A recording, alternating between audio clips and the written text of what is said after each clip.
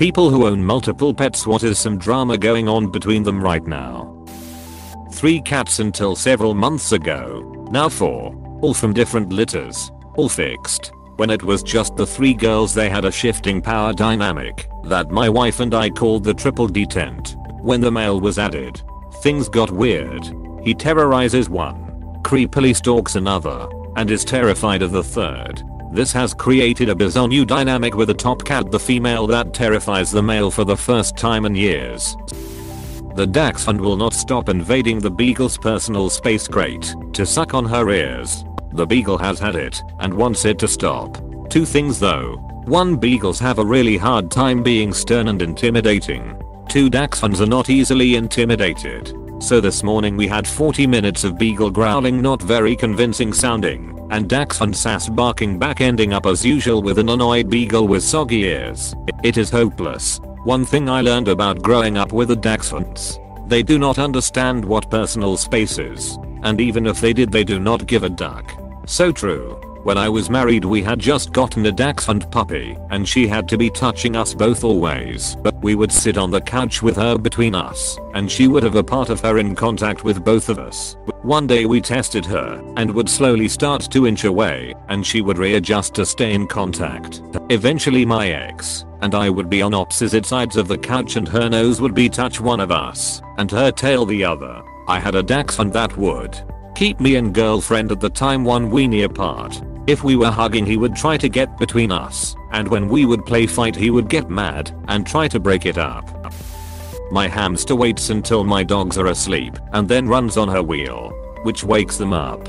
And then she stops until they fall asleep again. The mini mules keep fighting over who gets to lay on the soft spot next to the gate. One cat has been sleeping in another's favorite spot and she gets so offended that a spot is taken she sits there and glares while waiting for the other cat to move. We have two goats that came from a dairy farm that do not want the other goats to get all the attention. So they chase them off, but are still too scared of us. So they stand there and stare at us instead. My Gourami begs worse than my dogs and constantly wants food.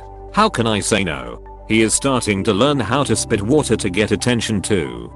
I hand feed my one gecko often and now she bites my fingers every time I try to do something in her enclosure. One of the cats will not drink water unless it is from the faucet. The coyotes were around the other night and one of the other cats is trying to keep us humans and other barn cats inside. He blocks our way or grabs us if we try to go outside.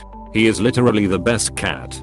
He brought home a stray kitten and they do everything together. It is breeding season for the turkeys.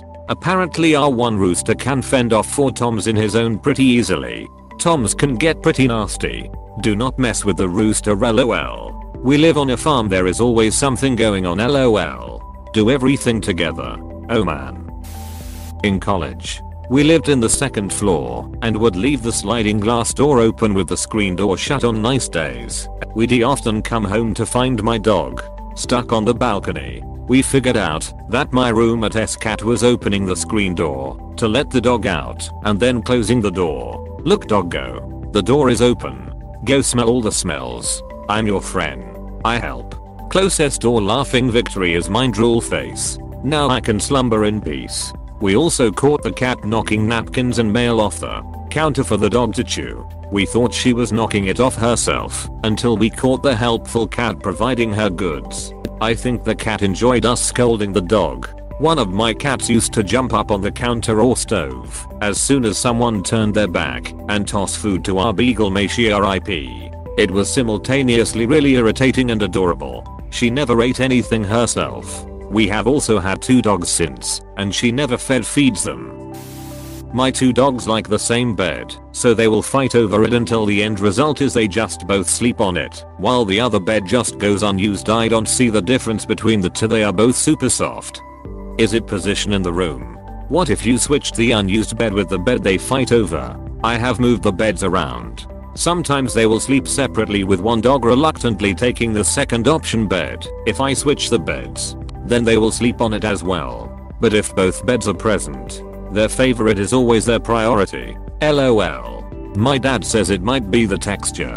One is slightly smoother so it feels cooler. Maybe it has an interesting smell. three cats to on purpose. Then we had a happy accident for the third Maku, Chloe, and Oliver. Oliver wants to play constantly, and both the girls hate that. They lines cuddle with him in order to share a lap, but they get so mad at him when he tries to play. They don't he hurt him though, just swatting with no claws and growls. Whenever they try to do that though he runs to my mom and cries until she picks him up. He has definitely got youngest child syndrome. My mom's elderly cat hated having his tail touched and was generally a grouchy old man. My sister's cat was the platonic form of little brother. So he would go up and gently tap Elder Cat's tail and then look innocent when Elder Cat hissed and growled at him. Sometimes sister's cat would stand next to Elder Cat, hovering his paw right over and clearly saying, I'm not touching you, while Elder Cat angrily yowled at him. The platonic form of little brother. Was he an orange tabby? I feel like orange tabbies are just like that. I had one that did that as well. He would annoy two different cats by touching their tails. He only did it to the cats that hated it. He did the I'm not touching you thing too. He was a brown tabby. He was a complete love to everyone else. But just got mega kicks annoying my mom's cat. Love this question laughing I have two cats one that is a bit dramatic and there is always this stray cat that comes to stare at her from the distance. That never gets close, but my cat yells like she is being attacked. When I go out and check it out the stray cat is on the other side of the sidewalk and my cat is at my door all curled up. All this happens and my other cat just stares through the window with dislike for my yelling cat. I am ashamed of my cat because her yelling is like super loud and all my neighbors know it as her causing drama. Ma. There is a weird ducking cat out here. My roommate has two large male dogs and I have a small female dog. My roommate's male dogs like to roughhouse and play around sometimes. Whenever they get too loud my little dog will raise her head and growl ever so slightly. Just enough for them to hear her. As soon as she does, they stop for a minute and start playing quieter. Ducking surreal to see. I had a female chihuahua mix who was like that. We used to call her the fun police at the park. Because anytime dogs would start roughhousing a little too much, she would run over and get in the middle of it and the other dogs would just stop. She was like 9 pounds. My mom had a chihuahua mix that behaved like this. We also called her the fun police. It is a type of dog body language. Splitting up means they think they are playing too rough. I live on a farm. Every day is a new case of the cats trying to eat something they shouldn't. On my uncle's farm a cat got into it his head that attacking a cow was a good idea. It jumped on it bit it around the neck. Of course when one cow runs, they all run. Cat caused a mini stampede that took out several fences and somehow walked away unscathed. Farm cats have 99 lives. Can confirm. My family farm cat is somehow still kicking at 23 barely. I have two sibling cats, a boy and girl. The girl developed heart problems and was not eating as much so the boy cat took advantage and was eating a lot of her share. Now she is a little too skinny and he has gotten fat. Okay. So I need to separate their food. So I got an automatic feeder for the boy cat and made a feeder box that only the girl cat could fit in, which made the boy cat mad. He eventually gained the confidence to Winnie the Pooh himself into her feeder box, which is frustrating if I ever need to be gone for the weekend as he will literally eat all her food before she touches it. So far my solution is to put a little inflatable collar on him when I'm gone. So he has a barrier besides his fat to keep him from going in. Also I had to barricade his automatic feeder because he kept beating it up to get loose kibbles. Now he stares longingly at that feeder all day. Little inflatable collar oh my god I want pictures. I want someone to draw this.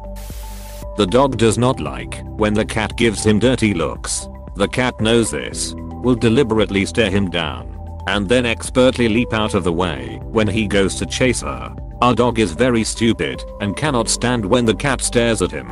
We have a baby gate to keep the dogs away from the cat's food and litter, and the cat will sit behind the baby gate, tail swishing, and bore holes into him. He loses his goddamn mind. As a kid we had a dog on an invisible fence and a pair of outdoor cats. The cats memorized the entire boundary of the fence and would spend all day sunning themselves inches beyond the dog's reach as she stared and vibrated with tension.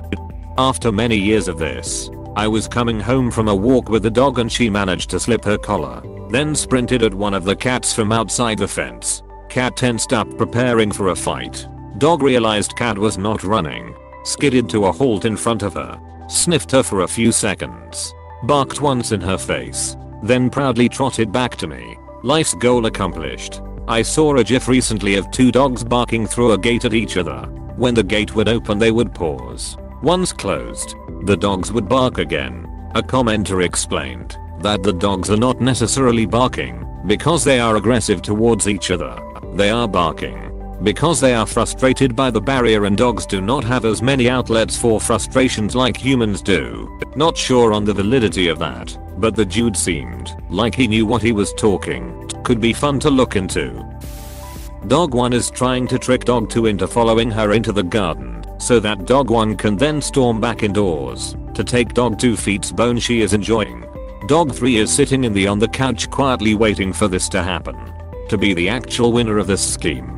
I occasionally watch my friend's two dogs a Pyrenees and a Border Collie mix at my place, and with my own dog, the Pyrenees acts dumb, but is actually way more crafty than the other two. The boys. If either of them are taking up a spot she wants, like her favorite spot on the couch or the sunny spot by the front door, she lines walk over to a window and start growling and barking at nothing until the boys come over to see what's up. Then she saunters over to the now open spot and leaves the other two still barking and confused. Yes, when my baby girl got old she would lay on the couch, and when she heard someone pass by she s give a low growl to get other dogs worked up and barking like crazy at the windows.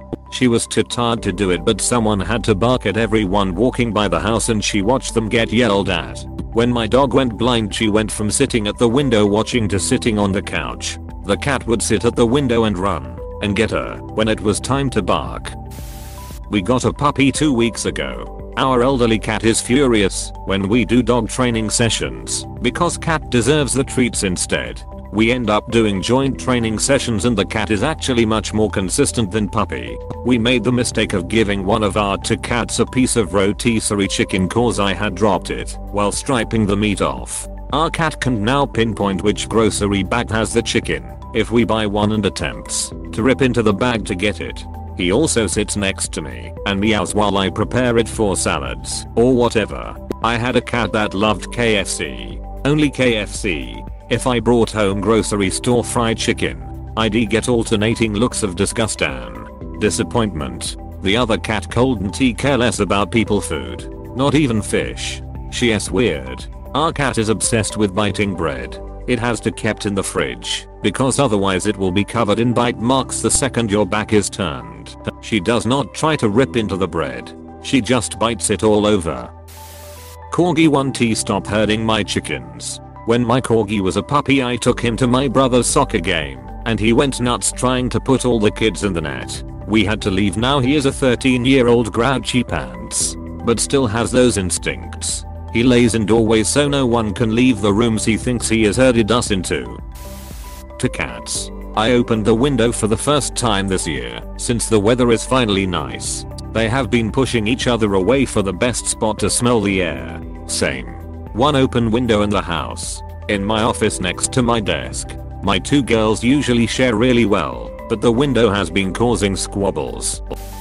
I have a cat, a puppy, and a dog cat likes to lure the puppy under the bed and he can get under, but gets stuck in the middle where it is the lowest. I have to rescue him usually around 2am, and he wakes me up by scratching the floor trying to get out. Cat also likes to knock off things from the counter he knows puppy should not be chewing on. Puppy and cat like to wrestle with each other, but dog does not like the ruckus and barks at them to stop. Cat does not like the barking, so then he chases dog. Puppy follows cat and there is a train of three Tom and Jerry style through the house. At the end of the day though they are always in a big cuddle pile, so I think they will be okay.